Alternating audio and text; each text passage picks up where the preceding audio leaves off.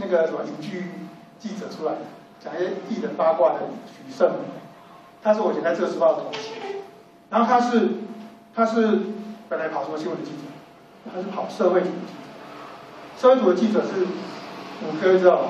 就跑警方啊，跑那个就是那车祸啊、杀人什么各种的这种的破获毒品的这种记者，然后他跑这记者的时候，跑跑之后后来调什么？调政治。他调政治组的时候，哎，即使他已经他跑过社会新闻了，他政治新闻写不出来，他政治新闻完全写不出来。然后那个现在的苹果日报的社长陈玉新，他那时候是自由时报政治组组长，然后就在许胜美的后面走来走去，因为那时候还是用手写稿的时代，他稿子那时候还不交呢？十一点了还不交稿，写不出来。就是一个已经跑过社会新闻的记者，他写不出来政治新闻，因为政治新闻的让我们的逻辑还有带跟社会新闻是不一样。社会新闻就是很血腥、血淋淋的把一些事实陈述的，可是政治新闻它有一点美感，你的用词又不一样，他写不出来。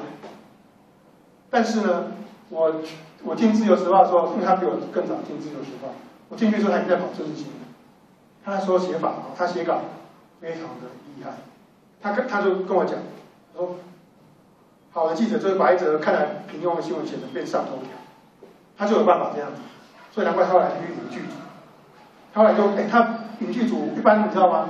我们政治组记者通常不会不会再调到别组，你知道政治组记者不会调到别组，为什么？因为政治组记者就是各报社最赞最好的记者，报社培养记者，未来可能会当主任啊、副总编辑、总编辑。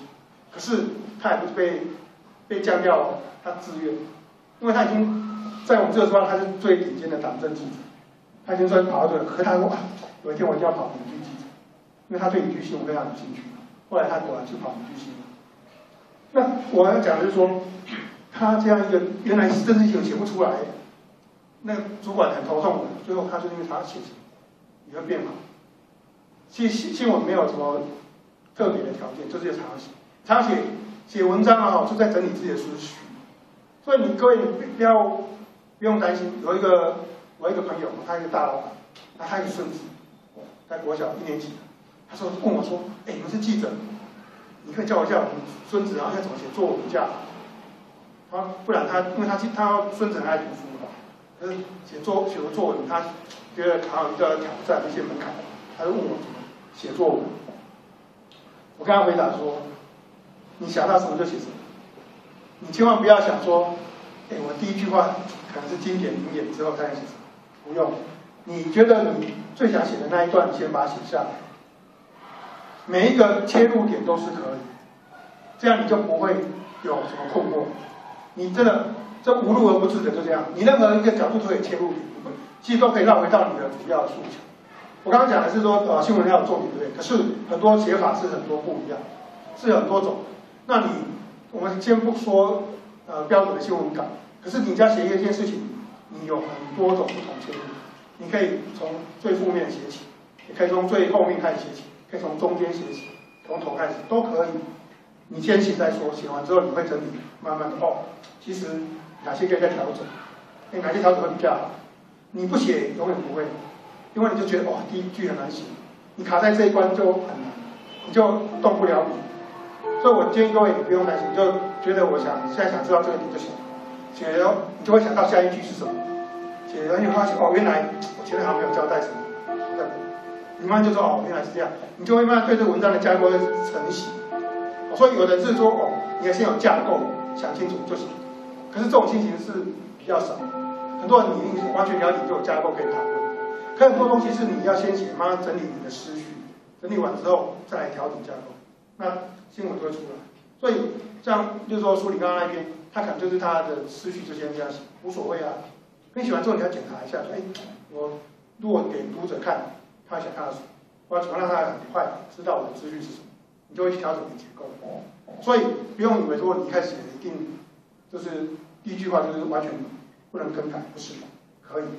所以就问任何从国小的学学童写作文到我们写新闻稿都一样，你把自己觉得最想写那部就先写下来。那我。呃，我们写新闻的一些记者，我看过很多其实资质都不怎么样，很多，可是他们都跑新闻跑过十几二十年后，非常快速找到这新闻，这就是经验。你如果没有这样有经验的话，你当然说每天想说我要写一个作品，好像想很久，不行，你再怎么想也不会进步，写写下来就是可以。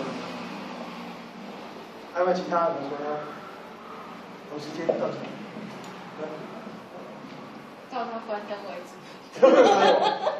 再五分钟。现在是四十五分钟。二十。二十。我知道了。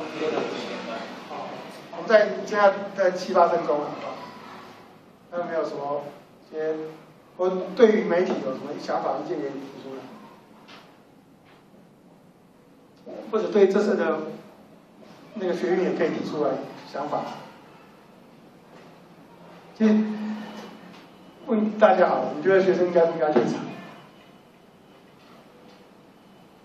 好，请问一下，坐着就好。你们写新闻啊，是？